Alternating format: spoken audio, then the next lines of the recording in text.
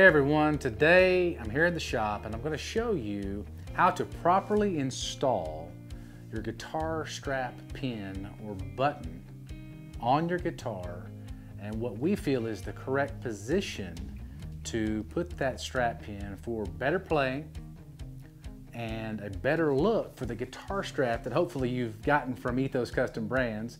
You can see some behind me and today I'm also playing an old Alvarez guitar that I've had for well over 30 years and this guitar is strung in a Nashville high string uh, stringing so it's really high. If you didn't hear it sounds like a 12 string. But I've had this guitar for again well over 30 years and the strap pin has always been underneath and around the underside of the neck bar.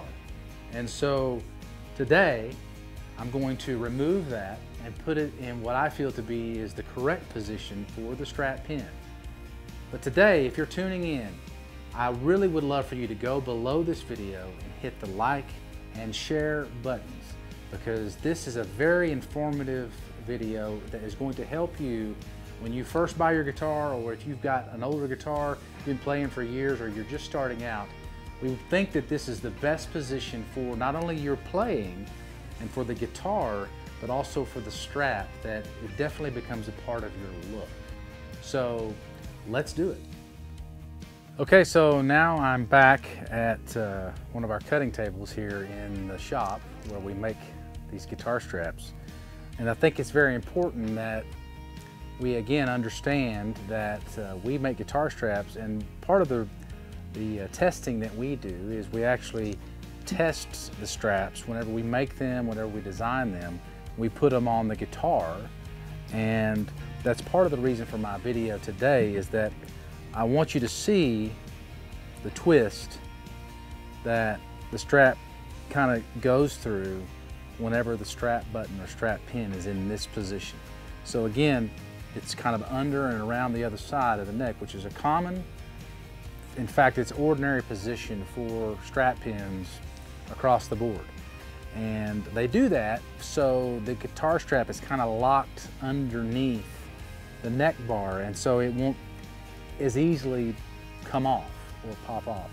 Again, the problem is, is the, the twist that occurs in the lower part of the strap just doesn't look as good. And in my opinion, it doesn't play as easy as far as when you're playing a three hour set or a, you're playing in a concert or you're just playing in the studio around the house, you want to feel comfortable and you want the guitar to be able to move freely as it is across your shoulder and on your body. So on the back side you see here, normal position of the pin. Uh, this is a little larger end pin because it is part of a pickup system. Um, so I'm gonna take this strap off and I'm gonna show you guys, show everyone today, how to remove this pin and place it in the proper position or what we feel is the proper position. So that's what I'm gonna do right now. So here we go. First of all, you have to have a Phillips screwdriver generally that is small enough to fit in the the small hole here that, that the end pin has in it, where the screw actually is. So this one is perfect.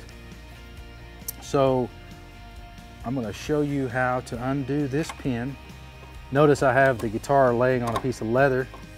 If you have a piece of carpet or a rug, anything that won't scar your guitar. Again, this guitar's been around with me a while. You probably see a lot of signatures on it. Those aren't necessarily famous people. There are a few famous people on there that I didn't know were gonna be famous when they signed it. Pretty cool. This guitar was with me in Nashville when I lived over there in the mid 90s. Okay, so you see, uh, there's a hole there where this pin, the strap button was put in. What we're gonna do is we're going to place the pin in the, the heel here of what I call the neck bar. I'm not sure the exact terminology on that, but we're gonna place that pin right there, centered. So before we drill a pilot hole, which is what we have to do, we want to first give a the, the pilot hole a, a chance to be centered. So I'm gonna list these tools out and show you exactly what I'm using to do this. These are tools that I actually have in the leather shop for doing leather work, but they work great for this. First tool you're gonna use beyond the screwdriver that you saw us use to get the strap pin out is what we call an awl. This is just a sharp, almost like an ice pick. If you have an ice pick that's good and sharp, you can use that. But this is an awl that we're gonna use to kind of center up and pre-punch the hole where we want to put the screw or the pilot hole for the screw that we're going to drill into the heel of this neck. All right, so I've got a little bitty hole put there. Now, next thing you need is a drill, and you can this would be a power drill or wired, you know, with a wire, or it can be a cordless drill like this. And then you need a drill bit, just a wood drill bit that is smaller than the diameter of your screw. And as long as it's smaller, it can be whatever kind of drill bit, but it needs to be smaller than the diameter of the roundness of the screw that you're going to use, the wood screw that you're going to use. And it, so it does have to be a wood screw. Okay, so now we have our drill bit chucked up and we're going to take our pre-punched awl punched hole and center up that drill bit in that hole and we're just going to ease the drill bit into the wood kind of leveled up as you can be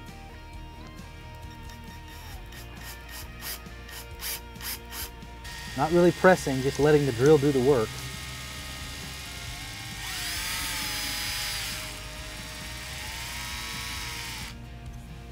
You saw I went to the, about the depth of the, of the drill, the, the tooled end here. So now we have our pilot hole centered up in the heel there. Now we're ready to simply install the button. So go ahead and put the screw in the button. Take your screwdriver that you used before, and this will take some pressure that you have to add, but the hole will keep it lined up as it goes in, and then you're good to go. It's a little elbow grease, and I would just suggest not using the drill on this part.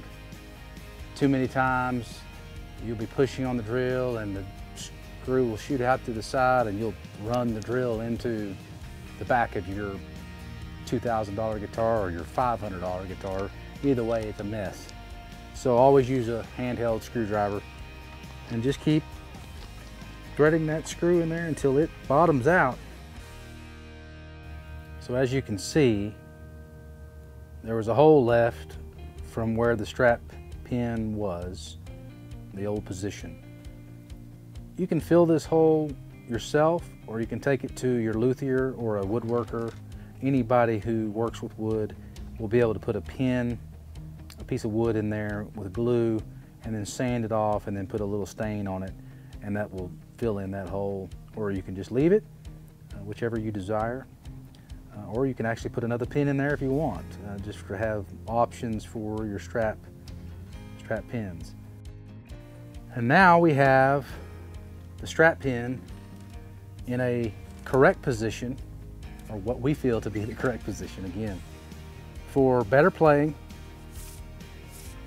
and a better look for your guitar strap. Let me show you what that looks like. This is the Imperial guitar strap from Ethos. Very, very cool strap. This is a showstopper. Got a couple of cool conchos on it.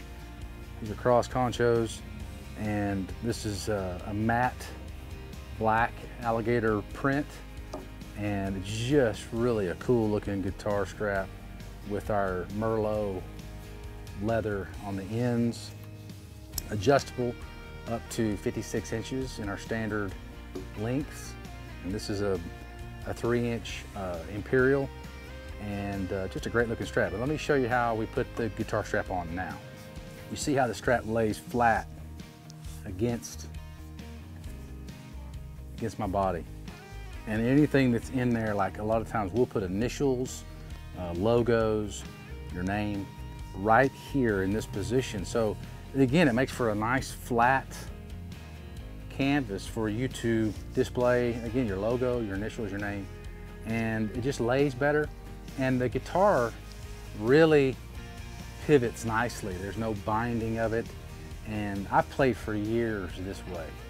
Some luthiers might contest me on the correct position of the strap pin, uh, but I believe this to be the best position for better playing and a better look for the straps. And again, that's why we are showing you this video and doing this is because we sell a lot of guitar straps and we want you to display them proudly and we want you to uh, have a great look when you're on the stage in concert, at church, in the studio, or just playing for friends around the house, around a bonfire, whatever.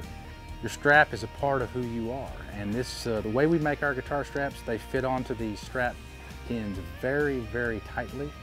Uh, the thickness of our leather is not too thick, but it's just thick enough to really hold on to the strap pins really well. So again, thank you for watching this video. Please share and like, leave comments. If you want to check us out, go to ethoscustombrands.com, ethosguitarstraps.com, or you can email us at support at ethoscustombrands.com and find out more about our guitar straps and all the other products that we are offering. And stay tuned, there's gonna be some really cool videos coming up and some more new designs coming out very soon. So stick with us, we'll see you soon.